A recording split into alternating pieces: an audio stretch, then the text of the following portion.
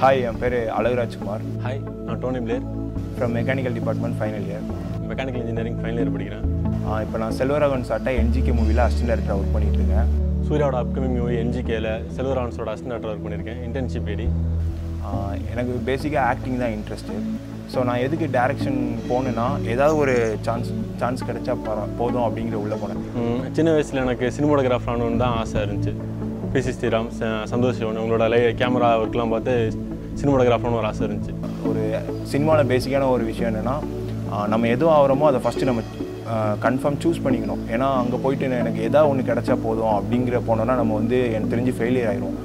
அதுக்கப்புறத்து college வந்ததுக்கப்புறம் first இயரில் ஒரு ஷார்ட் ஃபிலிம் கான்டெஸ்ட் வச்சாங்க நம்ம காலேஜில் ஷார்ட் ஃபிலிம் கான்டெஸ்ட் வைக்கிறபோது சரி ஓகே எல்லாம் யார் யார் என்ன பண்ணலாம் அப்படின்றபோது நான் சும்மா நான் ரேண்டமாக நான் டேரக்டர் ஆயிடுறேன் அப்படின்னு நான் சும்மா சொன்னேன். ஆனால் அப்போ ஆரம்பம் அதோட சீரியஸ்னஸ் தெரியல. அது எவ்வளோ கஷ்டம்? அப்போ இதே மாதிரி நான் சும்மா நான் டேரக்டர் நான் டேரக்ஷன் பண்ணிக்கிறேன். அப்படின்னு ஆனால் அங்கேருந்து ஆரம்பிச்சு ஹம், கொஞ்சம் கொஞ்சமாக ஸ்டெப் பை ஸ்டெப் யார் கற்றுக் கொடுக்குறதுக்கு யாருமே நாங்களே கற்றுக்கிட்டோம் ஒரு ஒரு அடுத்தடுத்து போன்ற ஒரு ஒரு ப்ராஜெக்ட்லையும் நாங்கள் ஸ்டெப் பை ஸ்டெப்பாக சின்ன சின்னதாக ஒரு ஒரு கரெக்ஷன் இருக்கும் கற்றுக்கிட்டோம் நிறைய ஒரு நிறைய கரெக்ஷன் சொல்லுவாங்க. ஒரு ஒரு ப்ராஜெக்ட் ரிலீஸ் பண்ணும்போது நிறைய நெகட்டிவ்ஸ் இருக்கும் நிறைய பாசிட்டிவ்ஸ் இருக்கும்.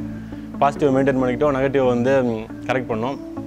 டேரக்ஷன் கிடச்சனால ஸோ அங்கே போயிட்டு ஆக்டிங்க்கு ஏதாவது சான்ஸ் கிடைக்குமோ அப்படின்னு சொல்லிட்டு போனதான் அங்கே போய் எனக்கு ஆக்டிங்கில் என்ன கிடச்சதுன்னா இந்த மாதிரி நே அவங்க ஸ்ட்ரைட்டாக நேரில் பார்க்க முடிஞ்சு அவங்க ஆக்ட் பண்ணுறத இப்போ சூர்யா சார் ஆகட்டும் இல்லை சாய் அவங்களாகட்டும் நேரில் அவங்க ஆக்ட் பண்ணுறத பார்க்க முடிஞ்சு அதில் என்ன மெயினாக எனக்கு தெரிஞ்சதுன்னா அவங்க நம்ம நார்மலாக நம்ம மூவியில் பார்க்குறதோட கொஞ்சம் எக்ஸ்ட்ரா ஆக்ட் பண்ணுற ஆக்ட் பண்ணுற மாதிரி எனக்கு ஃபீல் ஆச்சு.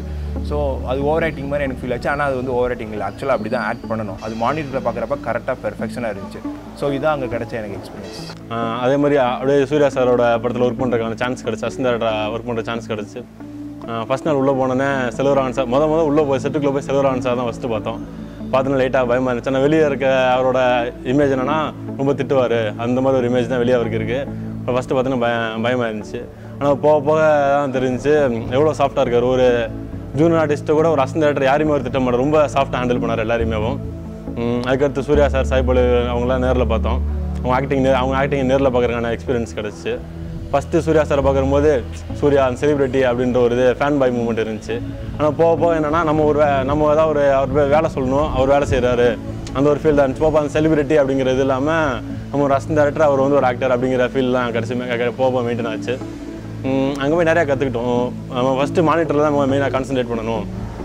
நாங்கள் என்ன பண்ணுவோம்னா போயிட்டு எல்லாத்தையும் கரெக்ட் பண்ணிட்டு இருப்போம் அதில் லைவில் ஆனால் நம்ம அதை எதுவுமே பண்ண தேவையில்ல. மானிட்டரில் கரெக்டாக இருக்கா? ஃப்ரேமுக்கு நம்ம ஃப்ரேமுக்கு என்ன தேவையோ அது மட்டும் பார்த்தா போதும் அப்படிங்கிறத ஃபஸ்ட்டு விஷயம் கற்றுக்கிட்டோம் அதுக்கடுத்து க்ரௌடு மெயின்டைன் பண்ண முதல்ல எங்களுக்கு கொடுத்த வேலை வந்து க்ரௌடு மெயின்டைன் பண்ணணும் ஒரு ஐநூறு பேர் ஜூனியர் ஆர்டிஸ்ட் இருந்தாங்க. அவங்கள மெயின்டைன் பண்ணுறது தான் ஃபஸ்ட்டு எங்களுக்கு கொடுத்த வேலை. ஜூனியர் ஆர்டிஸ்ட் எப்படி மெயின்டைன் பண்ணணும் க்ரௌட் எப்படி இது பண்ணணும்? அவங்க நேச்சுரல் அப்படியே ஒரு ஒரு ஜூனியர் ஆர்டிஸ்ட்க்கு சொல்லி நடிச்சு காட்ட வேண்டியது இருந்துச்சு. இப்படி நடிக்கணும் எப்படி நடிக்கணும்னு சொல்லி அதை பண்ணிட்டு இருந்தோம். பேசிக்காக சினிமாவில் ஒரு மெயின் திங்க் என்னென்னா நம்ம என்ன ஆக போகிறோன்ட்டு வந்து கன்ஃபார்ம் நம்ம சூஸ் பண்ணணும் ஃபஸ்ட்டு ஏன்னா வந்து எல்லாருக்குமே சினிமானா ஒரு ஏக்கம் இருக்கும். எப்படியாவது உள்ளே போயிடணும் எப்படியாவது நம்ம பெரிய ஆள் ஆகணும் அப்படின்ட்டு இருக்கும். ஆனால் வந்து மெயினான ஒரு விஷயம் வந்து நீங்கள் டேரக்டர் ஆக போகிறீங்கன்னா டேரக்டர்னு ஃபிக்ஸ் பண்ணணும். ஆக்டிங் ஆக்டிங்னா ஆக்டிங் ஃபிக்ஸ் பண்ணணும். ஏன்னா அதான் அதான் வந்து முக்கியமான விஷயம் அங்கே. அப்படின்னா தான் நம்மளால் அங்கே போய் ச சக்ஸஸ் ஆக முடியும். பேசிக்காக சினிமாவிலே தமிழ் இண்டஸ்ட்ரியில் சென்னை போகணும். அதுதானே ஒரு கான்செப்ட் சென்னை போனால் தான் அங்கே போய் தான் சினிமா எப்படி இருக்குன்னு பார்க்க முடியும். நாங்கள் ஃபஸ்ட்டு சென்னை போகிறப்ப அங்கே வந்தவங்க சொன்னாங்க நீங்கள் வந்த ட்ரெயின்லேயே ஒரு ஒரு குறைஞ்சது ஒரு இரநூறு முந்நூறு பேர் இதே கனவோட வருவாங்க. எப்படி சக்ஸஸ் ஆக முடியும்? அப்படின்னு சொன்னாங்க. அந்த மாதிரிலாம் சில விஷயம் சென்னை போனேன்னு நம்மளை ரொம்ப டிமோட்டிவ் பண்ணுற மாதிரி இருக்கும். அதெல்லாம் கண்டுக்கவே கண்டுக்காதீங்க. நீங்கள் என்ன ஆகணுமோ அதை ஸ்ட்ரைட்டாக அதை யோசிச்சு போயிட்டே இருங்க. இப்போ நீங்கள் உள்ள சினிமாவுக்குள்ளே போயிட்டாலுமே அங்கே இருக்க நிறையா பாலிடிக்ஸ் இருக்கும். ஃபஸ்ட்டு அதை பார்த்து நம்ம பயப்படுற மாதிரி தான் இருக்கும்.